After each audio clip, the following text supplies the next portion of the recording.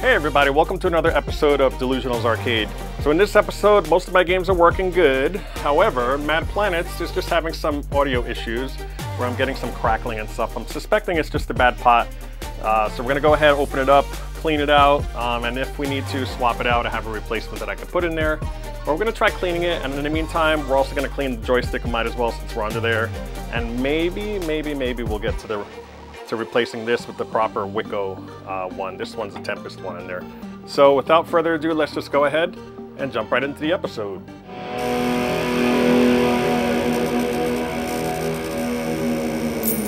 Okay, so if you saw in a past video, actually I'll link it down below, but this is my Mad Planets that I acquired. Uh, it's a really nice specimen. It has a little bit of patina here and there, which uh, you know I'll address in future videos. But for now, uh, the audio is the main thing that's kind of bothering me.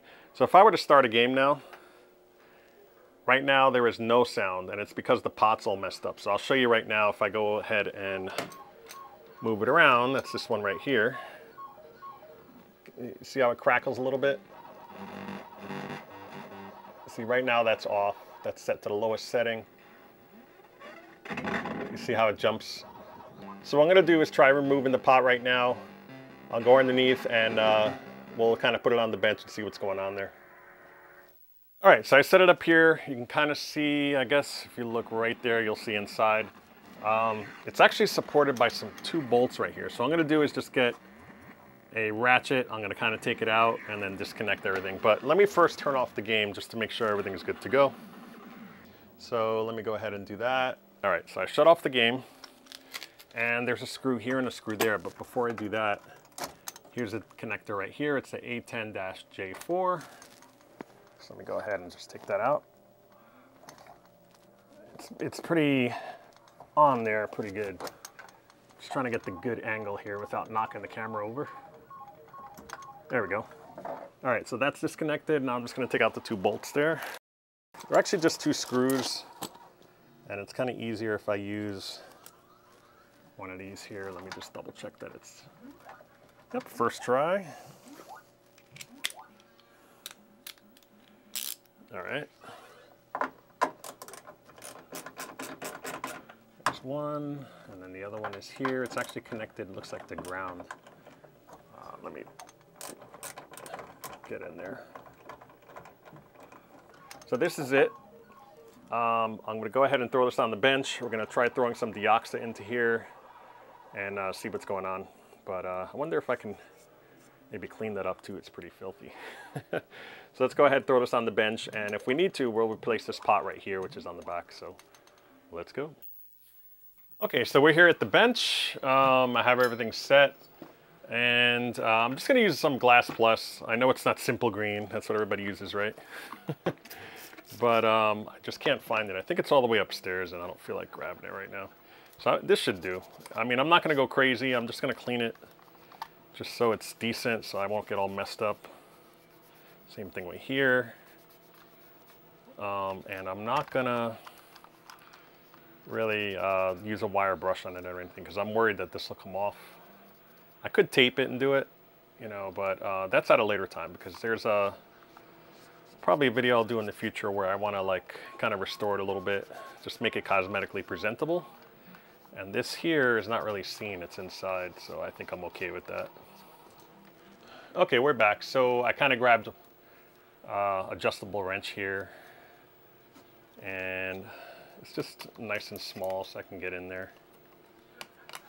But I'm just trying to just take this off here without, without really killing anything else. there we go, it should be pretty easy. Just loosened it. Put that on the side. There's two. And then we'll take that out. Okay. So I'm gonna clean it a little bit more here just to get all the grime off. That's how everything used to look at one day. Um, but yeah, so now I can get in here. You can see there's a couple holes here. And what I'm gonna do is I'm gonna spray some fader cleaner in it. So I wanted to show you guys uh, the difference of all the stuff that I'm gonna use here. So right here, this is Deoxit, right? So I have a little pack here and this deoxit right here, it's the D100L. This is not the one you want to use on it. Uh, you can see that's the main one that everybody uses. Uh, so normal deoxit is what you don't want to use. What you want to do is, uh, I have, this is amazing, like it's, it's a little pricey. I would say it is like probably 25 to 30 bucks, um, but it's, it lasts for years. I've had this for years. But this is really made for guitars and stuff. So uh, the thing that it has in common with this is actually there's a pot inside the volume control for the, you know, like near the pickups and stuff for a guitar. So this is really, um, they call it fader cleaner. So it's for any, any type of device that wipes back and forth with a variable resistor. In this case, we can use it on this. So uh, what I'll do is, let me actually get this other cloth here. I have a microfiber cloth. I'm gonna put this to the side. So I'm just gonna put it over here so it doesn't get a little messy. And all you do is you spray it in there and wipe it back and forth. So we're gonna try that first. We'll pop it on the machine and see if it makes a difference. And if it does, then we, uh, that's it, we're done. but if it doesn't, it's gonna, um, let's see, let me just, I will swap it out. I actually have a spare that I can put in there. So you can see I got it in there pretty good. I'm gonna wipe it back and forth. And that should, that should do it. What I might do is I'll put a little bit more in here. So I'm just getting it in those holes. My guess is it was probably made, you know, to have something like this done and maintained so you can get in there. I'm just wiping off the excess and I'm wiping it back and forth. So all the way this way, all the way that way. Um, it, it evaporates pretty quick. And it has those holes in there. So what I was gonna do is blow some air in there. So I may do that off off camera. So yeah if you have an air duster which I don't they kind of look like this with the straw. Shove it in there and uh, kind of make sure it's all dry but again it doesn't have to be dry it's non-conductive uh, all right, so I really want to save this. So I do have a replacement. Let me go ahead and get the replacement. I'll be right back. All right, so here's the replacement. Uh, this is, uh, I believe I got this from uh, Jameco. So I actually gave one of these to Charlie at Overtime Arcade because he also has one of these for his Qbert. And chances are, um, I actually swapped them in there uh, just to test it out. And it, it, his is working, but it still is a little crackly like this one. But he might be able to do what I just did with the Deoxit. But if not, um, here's a brand new one. So uh, it actually doesn't come with this knob on it. I bought this knob separately. Um, but it's nice and smooth and it's uh, the same value on it. I believe it's uh, 100 ohm. All right, so for now, I think this is good. I'm gonna go ahead and um, just let it dry out for a little bit. Uh, but if you wanna speed up the process, like I said, just hit it with, with an air duster. Uh, but I'm gonna leave it out like this. I'm just going to plug it in and I'm going to see if it makes any difference. I believe if you turn it all the way left, it's going to be low, and if you turn it to the right, it raises the volume. So I'm going to turn it all the way to the left here. And my problem is, like, I could turn it up and it fixes the issue. However, um, you know, I'm in a normal house. I'm not in an arcade, so I don't want this thing blasting. It's pretty loud, especially in the track mode. So I like to turn it low, but the low was all crackly, but the middle was fine. So hopefully, you know, you can see me still working it back and forth to try to get it to be clean. And uh, hopefully it'll work. But if it doesn't, we'll just, this one's nice and smooth and new. And we'll just uh, solder it exactly like a show on there. Uh, I just wanted the long knob. This knob looks terrible, but uh, it's part of the original charm of the game. So if I don't have to switch it out, I won't. All right, let's go and pop that in and we'll see if it works. Okay, so we're back at the cabinet and uh, I'm just gonna hook it up just so it's kind of loose here um, because I'm not ready to commit that it's corrected yet. We might have to swap out that pot. So it's nice and tight in there. I'm just gonna lay this like that. And then to the left is lowest. And then I'm gonna go ahead and power it on. Okay, so we got the title screen now, and now should do some music here for the track mode. Let's see what it does.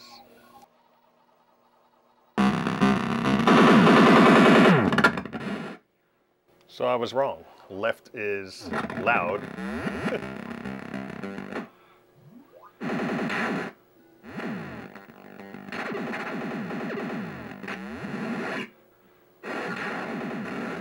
fixed it. Right now, I turned it all the way down, which is what I want. I want it to be completely off. And then when I do a tiny bit up, it's very, very low. And then I can adjust it. Nice. I think we're going to live with this. Nice. All right, so success.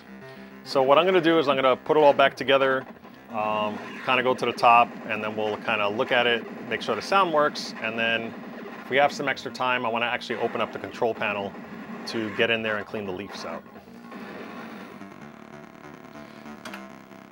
All right, let's see how it sounds. So far, it's perfect. It used to crackle a lot more.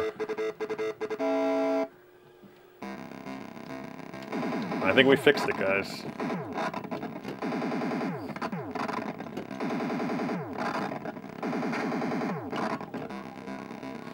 Now, the only issue I see here, um, you know, something else that's dirty, right, on this thing, is, uh, you know, I can't, sometimes it doesn't move right. It's just a little stiff, so I wanted to clean the controls just to have it functioning perfect, because I don't play it as much as I should because the controls aren't 100% yet. Yeah, it's having a little issues going right. All right, so we know the sound works great. This is actually a great volume to leave it at uh, for the house, so I'm gonna leave it here. But uh, awesome, I'm really happy about that. All right, so let's go ahead. We'll, uh, I'll kind of set up the camera again. We'll open this up and we'll see um, if I can, you know, get this to be cleaned and work a little better than it is now. All right, so what I'm gonna do before I put that all back together, I'm just gonna open this up. Now this one's kind of a pain. It has these butterfly nuts on the end of them here. Same thing with reactor. They just take a longer time to open up. A few moments later. All right, so now let me lift this up. And we can see what's under here. And right off the bat, I'm actually gonna try to stick, no, it's not gonna let me. Oh, maybe it will. There we go. I was trying to stick the whole joystick in there so it won't fall. Uh, you can see here, this is actually, I'm going to take this off on here real fast. But this is the, this is not the proper spinner. This is, it even says on here, spinner. so I guess uh, Alan, the guy who sold it to me, must have put that there. But this is for a Tempest. This is completely different. And I'm not really sure how it mounts, honestly. Um, but I do have the original Wico, and I'm not even sure if this connector has the same pinout or not. I really have to research that. Or just try it and see what happens. But, uh, but yeah, so this here is what I wanted to look at. Um, everything looks pretty clean. But it just might be dirty, honestly. Yeah, I could see there's a lot of dust in there. If you look right in there, there's a lot. So I'm to go ahead and just... Uh, put something in there and figure out what to do. Um, might throw some deoxit actually on there, just normal deoxit, and then see where I'm at. So I do want to use the normal one. I don't, don't want to use a fader cleaner this time. And I'm going to use the one, here's a normal deoxit, and you can see it right here. I'm going to use the nail polish one. I call it the nail polish because it basically looks like nail polish, has the brush and everything, and it's just easier to apply. So, you know, I'm just gingerly applying stuff in between here. And then I'll just clean it out with the rag as I go. I'm gonna go ahead and put this under here. I think it'll be fine. I don't think it's gonna drip. I just don't want it dripping inside on anything. But I wanna get those tips right there.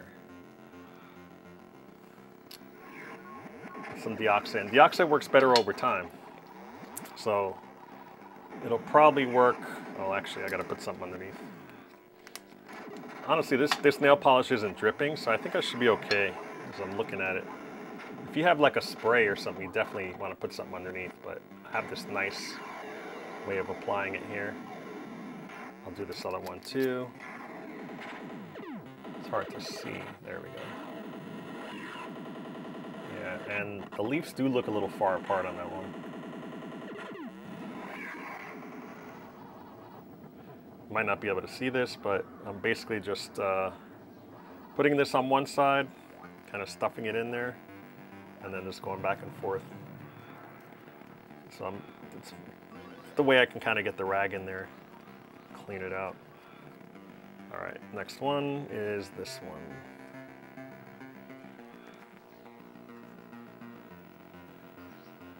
This one seems a little far apart. Actually, you know what? No, it's not. It's just the front part. Yeah, this one's fine.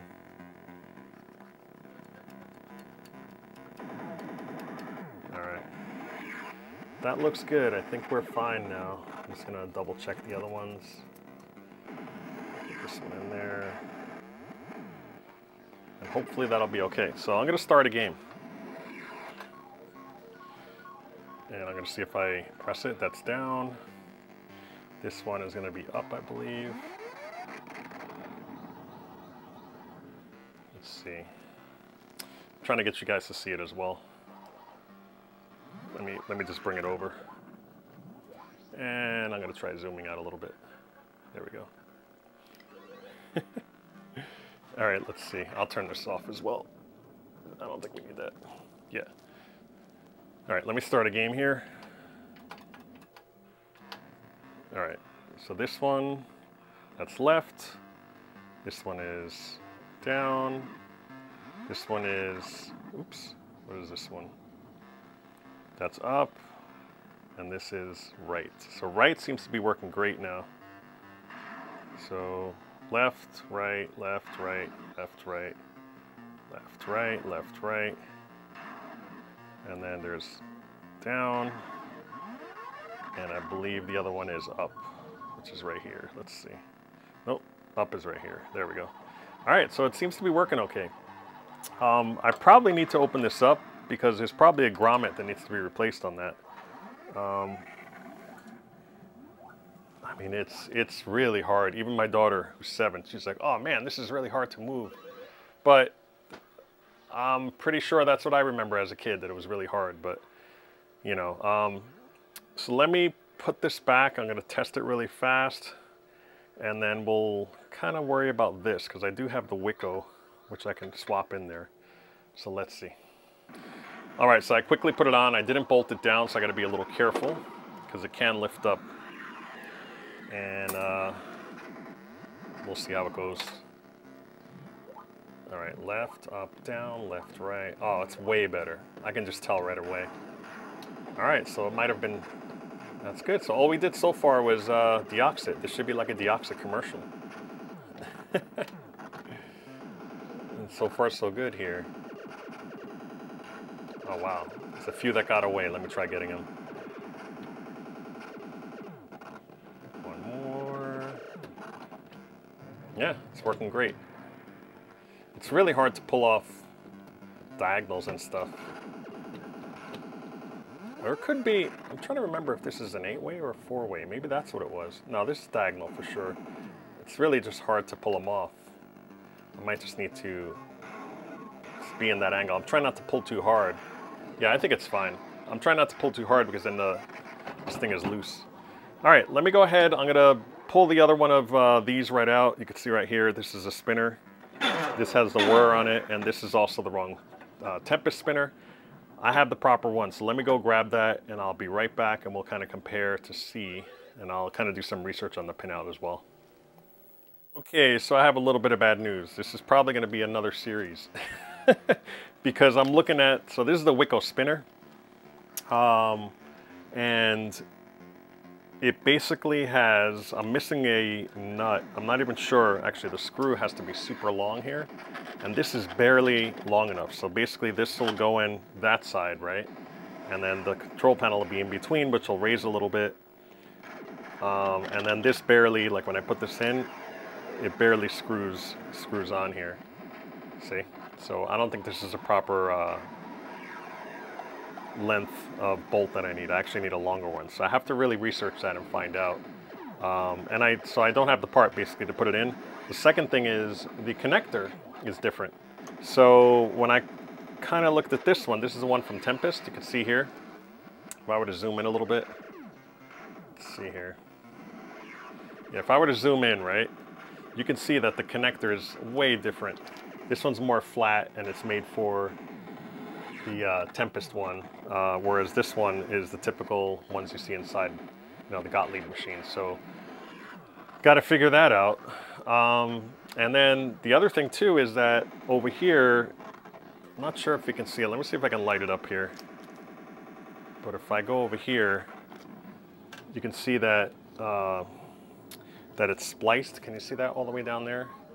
So it's basically spliced. Those are the original colors and the original wires on there, uh, which I could probably match up. And then, um, so whoever did the restoration on this and put this in there, basically just cut the wires, kind of, uh, they did a good job putting it together with shrink tubing and all that stuff, but it is the wrong connector and the wrong spinner. So when I put this one in, I'm gonna have to probably uh, make another end. So I gotta find out where I can get the, uh, I guess the female version of this. So it'll mate together and then I can put it on. Plus I have to get the proper bolt size. So don't really know what size bolt this is. If you guys know, put it in the comments, but I'm probably gonna work on it next time. So in the meantime, I'm gonna put this thing back together. We'll have a quick gameplay. Once it's all together, I'll put everything back in and we can kind of test it out and test the sound and see if it works good. Okay, we are back and it looks like it's controlling really nice from what we just saw. I'm gonna try it right now to make sure. I hooked up everything on the audio and I adjusted the levels so it is perfect. Like I'm so glad I didn't replace it and I have the original on there. So it's the perfect volume. I think I'm gonna leave it, I'm trying to think if I should leave it lit or not. Let me see, because when I turn it off, it tends to get a little, yeah, the ship gets all blown out, you see that? So it might, it might be better just doing that. All right, we'll go with that for now, and I'm just gonna see how it sounds and feels, and we'll play a game here.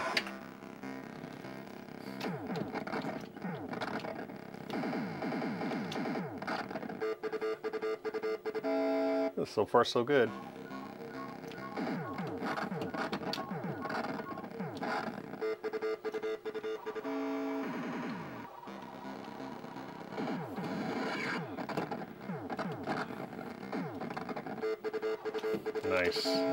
Far I got perfect, perfect rounds here.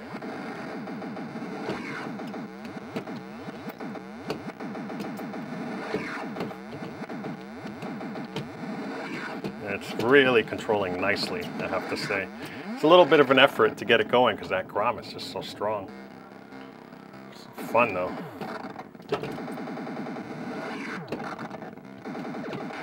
I feel like I'm super precise now. Nice.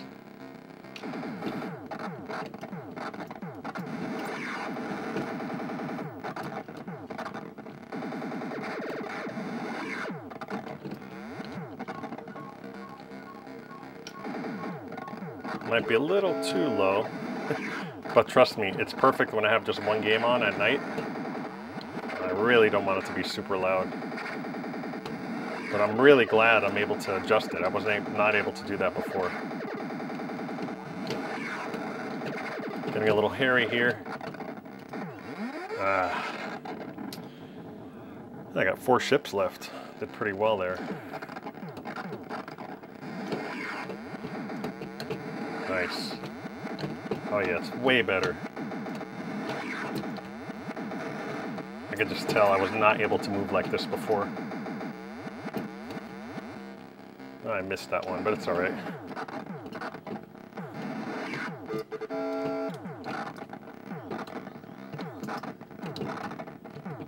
Trying to get a perfect game here. Yes.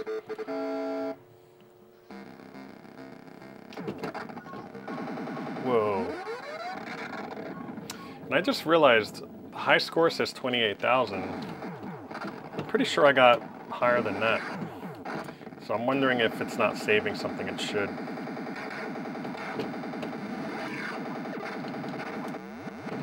trying to maneuver through all of them. Ah, very hard game. And it, I mean, it feels okay with the spinner. It's not terrible, but I'd rather have the original. Game's all original, why not?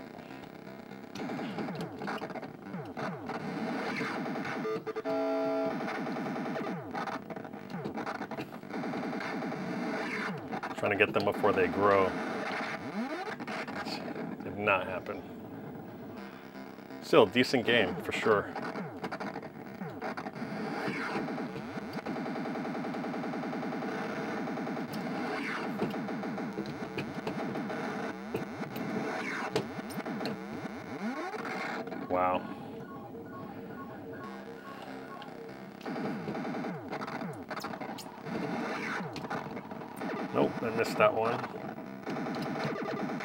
Prevent more from coming out. So like you're you're dodging, but at the same time, you're trying to get those little ones so they don't grow into these massive uh, problems here. Nice. Oh, I shouldn't have died there. All right, so 59,000. Let me put my name up. I'm really curious to see. Oh yeah, now it's working great. I mean, it's still a little tough with diagonal. I might have to adjust the leaps a little bit or figure out that grommet. But yeah, I definitely scored higher than that. So it's not saving the high scores. Usually it does, I think. I could test that now, actually. Let me uh, turn it off and on to see. And then we'll kind of wrap this up here. Some Mad Planets. It's very possible, honestly. I think I know what happened. I think I, because it tells you to reset the scores when you first turn it on. I think I might have hit it by mistake. Yeah, it says press fire for start of new day, clear ultra scores. So it's possible that I did that, that it was depressed and I didn't realize it. But yeah, see, it saved the high score, so that's probably what happened.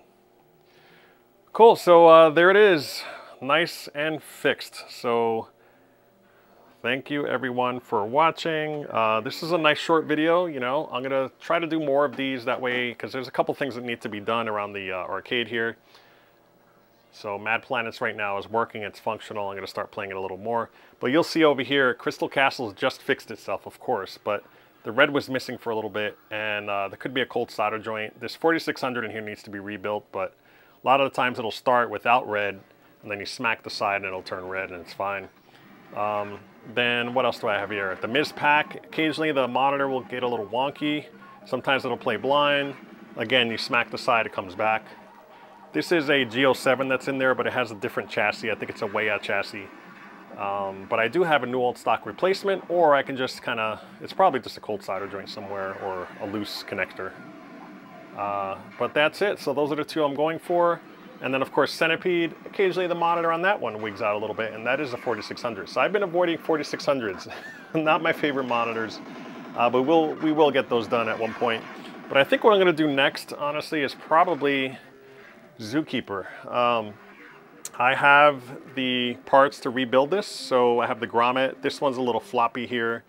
Um, and it's not as good. And the one I rebuilt on my buddy Troy's house, uh, his had like an issue where there was a piece hanging in there. When I rebuilt it, I was like, man, this is amazing. It's gonna be awesome. So what I'll do is I have a spare panel, I have a spare overlay from Joe Sable's Arcade, um, and then I also have a spare joystick. So I'm gonna rebuild everything, make a whole new panel with the wiring and everything. Um, I believe the wiring is from Golden Age Parts. Um, so I can go ahead and make a spare and then we'll swap it in and see if we can tell the difference between this one and the other one.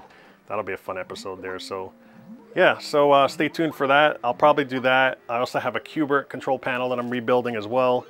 Uh, so that should be cool with the overlay. So I'm gonna do a lot smaller stuff like this, but uh, I think you guys will enjoy it. So, okay guys, uh, if you wanna follow me on Twitter, here's my handle here. It's at Del's Arcade. And also, of course, I am on Instagram where I post a lot of pictures. Uh, we'll probably already, already have seen this that I posted. That I'm working on it, you know, with the uh, Mad Planet. So I'm at Del's Arcade on there as well. And of course, if you like what you see, if you're new to the channel, uh, please subscribe because you will will be worth it. It's a lot of fun stuff here and I have a ton of stuff. If you check my playlist, I have a ton of stuff on there of uh, restorations. We have the uh, Gaplus restoration, which I am going to finish. Um, I have the reactor, which will be coming. That one uh, just have to put together over the winter, so I'm saving it for that. And then, uh, you know, Mad Planets pickup you saw, and then the Crystal Castles pickup and all these other ones that you see here. And I also have a candy one that I'm working on, on a multi that I did for the SIG. You can see there it's running Alien Syndrome. So I have a video where I put that all together. So yeah, so you'll enjoy coming here if you subscribe. So hit the like button as well, and I thank you for that. And I guess we'll see you in the next one. Take care, guys.